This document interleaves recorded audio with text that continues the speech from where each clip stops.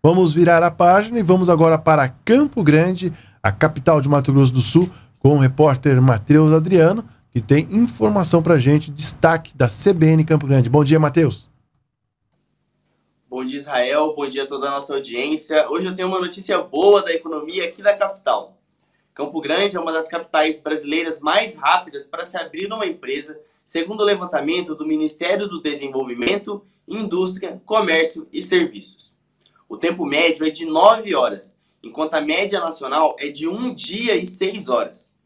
Esses números correspondem às empresas que foram abertas no primeiro quadrimestre de 2023. De acordo com a pesquisa, foram abertas 9.549 empresas em Campo Grande nesse período de janeiro até maio. No mesmo período de 2022, o número não chegou a 8.800. O boletim revela ainda que no mesmo período do ano passado, o empresário campo-grandense levava em média um dia e 20 horas para abrir uma empresa. Então, com esse novo relatório, a capital passa do 23º para o 12º lugar no ranking nacional de tempo médio para se abrir uma empresa.